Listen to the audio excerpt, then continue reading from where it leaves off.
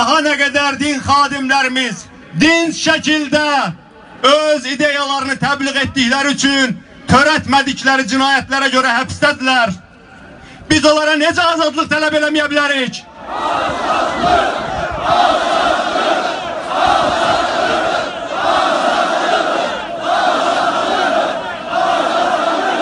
Aziz dostlar, aziz dostlar, Asif Yusuflu'nu unuttunuz mu?